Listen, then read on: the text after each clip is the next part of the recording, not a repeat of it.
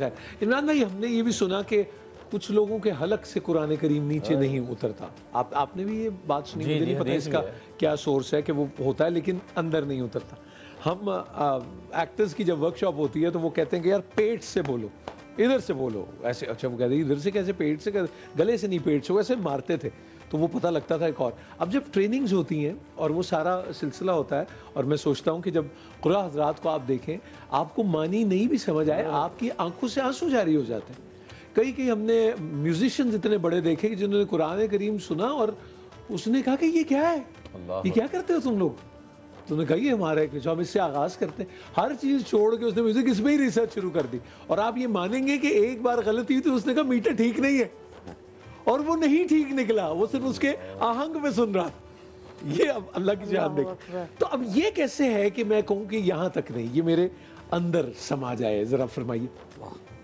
इसके ऊपर ना सूरत कहफ कुरान पाक की वो मुबारक सूरत है जिसको हर मुसलमान कोशिश करता है कि जुमे वाले दिन बड़े जी वो, का, वो उसके लिए और हदीस पाक में आता है कि जो ये पढ़ेगा अल्लाह ताला उसको हर किस्म के फितने से आजमाइश से हती कि दज्जाल का वो फितना जिससे हर नबी ने पनाह मांगी अल्लाह उससे भी इसको बचा देगा।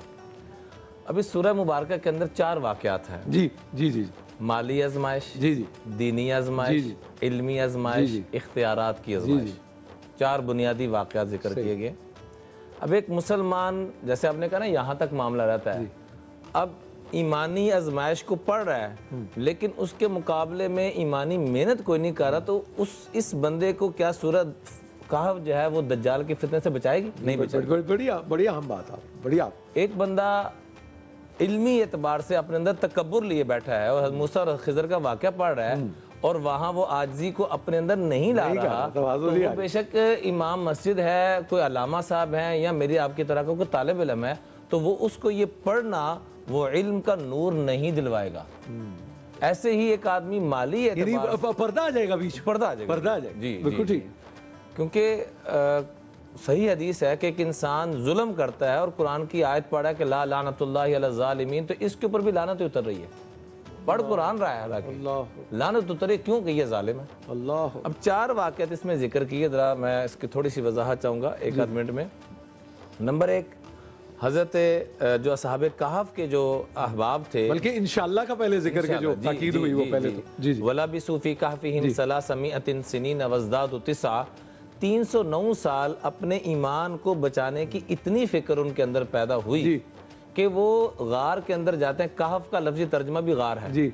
वो गार के अंदर जाते हैं और 309 साल यकीन करें मैं जब इस गार में गया उर्दन के अंदर ये गार मौजूद है अल्लाह की कसम उठा के कहूँ तो ये गलत नहीं होगा। मैंने जो अलामा साहब वहाँ नूरानियत और वो रहमत बरकत रब की उतरती देखी मुझे मुझ जैसे गुनागार को महसूस हो रही है कि इतनी रब की रहमत के ईमान को उन्होंने सामने रखा वक़्त के बादशाह को किसी चीज़ को अहमियत नहीं दी जी, तो रब ने रहमत दुनिया में भी उतारी और आज भी वहाँ जो उनके पास जा रहे हैं उसको महसूस हो रहा थप थपाया करवट बदल दी सूरज को गुजार दिया सब वो बिल्कुल ठीक। दूसरे नंबर पे माली एतबार से दो आदमियों का ज़िक्र है। जी।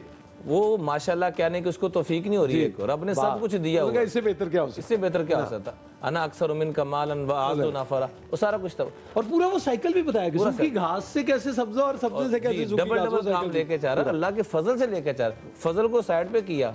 जैसे ज़ीरो लगे हो बहुत ज़्यादा और शुरू में एक भी लगा हो अब एक को खत्म कर दें तो ज़ीरो की क्या औकात रह जाएगी? एक पॉइंट लग जाए तो ज़ीरो पॉइंट ज़ीरो ज़ीरो खत्म। हो गया बिल्कुल ऐसे ही मूसा अलैहिस्सलाम जिनका तज़करा कुरान पाक में सबसे ज़्यादा है।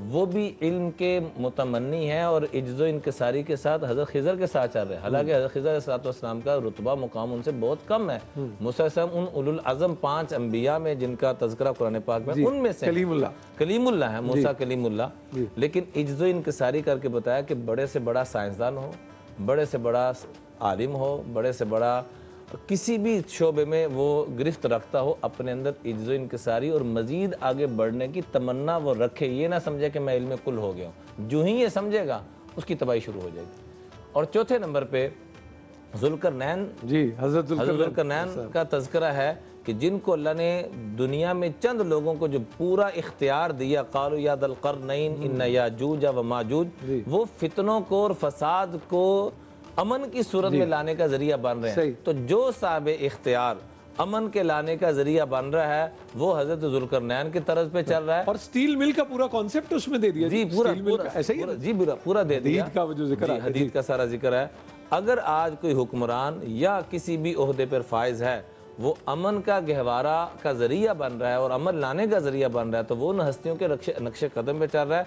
अल्लाह इसको वो अनवार बरक़ात से ऐसा मुनवर फरमाएँगे ये पूरी दुनिया में सारे मामला को मुनवर करेगा। आखिर में एक छोटी सी बात हज़रत शुआब सलाम का दस मरतबा कुरान पाक में तस्करा आया तकरीबन। दस मरतबा और दस के दस मरतबा मुआशी मामला को जी जी सारा ही सारा ही। और वो कौम क्या कहती थी? कि नमाज़ रोजा इबादत इस हद तक तो ठीक है। इन्ना कल अंतल हलीम रशीद। जब आप इन तारों को छेड़ेंगे तो तो अत- साड़ी इकोनॉमी खराब हो जाएगी। साड़ी इकोनॉमी खराब हो जाएगी। जो आज हमारा भी हमारा भी हमारा भी यही और यही तबाही का ज़रिया। दिखाएँ कहाँ से ठीक। है। या शुआब